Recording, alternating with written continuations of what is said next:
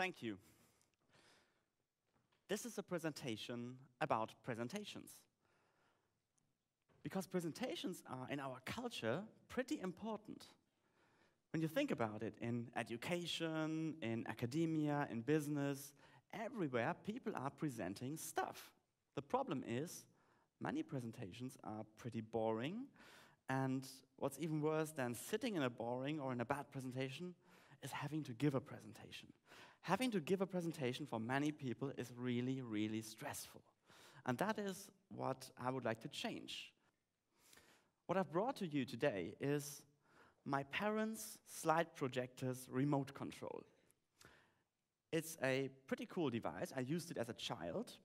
It has, well, one button for focus, because you can adjust the focus of the projector, and it has another red button for going forward in the slides and going backward in the slides. It was already old when I was young, so it's, it's kind of outdated, you would think. But if we take one step into the present and compare it to today's remote controls, it doesn't look much different. It's still going backward or going forward and that's it. Well, the problem, I think, is that both these slide projections from the 1970s and today's PowerPoint presentations are based on the idea of sequences, of one slide da, da, da, after the other, and so on. Uh, it's, it's boring. And what's worse is that we humans don't think in sequences. We humans think in associations. You know, I have an idea, and oh, did you know that? And then somebody else has an idea. It's pretty chaotic, but that's the way we humans think in associations. The problem is, of course, when we try to squeeze this into, well, the standard format of a presentation, because then you have your slides set up already, and you have an idea in between, but you can't do that because the slide that will be next is a different one. It doesn't fit, and that is stressful. So what can we do? Well, if we go back all the way back in time, using our flux capacitor to the ancient Greeks, what did they do? Well, they had some pretty good techniques to memorize and structure their speeches. For example, with objects. That's the mnemo technique.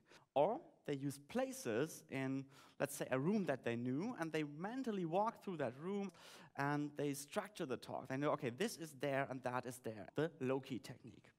And I was recently coached by Ole Tillmann. He coaches people for the TEDx events. And he told me to do exactly that because it's much easier if you memorize things by places and by objects and by emotions.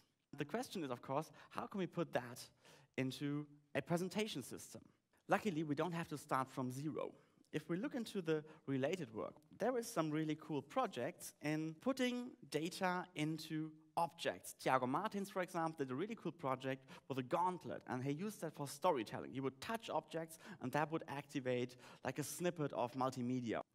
And there's also cool projects on putting data into spaces and places. This project by Nina Valkanova and Robert Walter, that is about positioning yourself literally in front of a question. It's a huge white projection, and you find a spot in that. Where do you stand in relation to that question? And of course, there's also cool HCI projects on using both of our hands, not only one hand, to understand complex data, like a 3D brain scan, as in this example, Ken Hinckley. He uses a puppet head and a section plane that you relate to each other, and then you explore the data using both of your hands. We humans just love to think with both hands. And of course, there's also HCI research on presentation systems. This, for example, Les Nelson, the Palette system. It is based on printed slides that have a little barcode, and you hold the slide in front of a reader and it jumps to the slide. That's pretty cool. And what I want to do with this project is take all of this together a new presentation system based on using both of our hands and putting data into places and into objects. And what I did is this.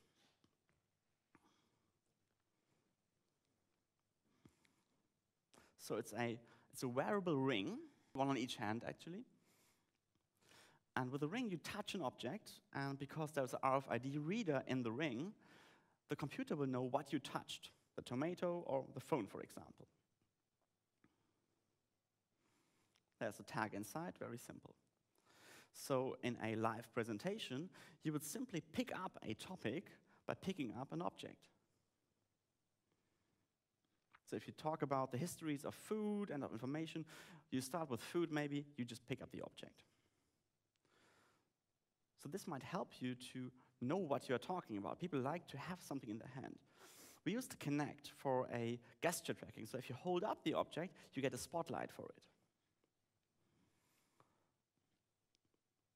And if you want to switch topics, maybe because it's the next thing you want to talk about, if there's a question from the audience, you just switch the object. So this is now about information. And what you will see here is the comparison of the two histories of information and of food. We also track the speaker's position on stage so we can actually know where in the topic they are. And that kind of makes it possible to approach a topic, to go through it, and also to skip points. So here we see the speaker going, for example, through the history of information, you know, from the old paintings to the, the printing press. Uh, you go through a timeline literally by walking on stage. Newspaper age, mobile phone age. Okay. And now she goes back and picks up the tomato and goes to the same timeline, but the perspective is now on food. So it starts with, you know, hunter-gatherers and so on. That's a parallel between food and information. Both used to be very scarce, were industrialized, and then came a fast food age. Maybe today we're in the fast food age of information consumption. And that's it.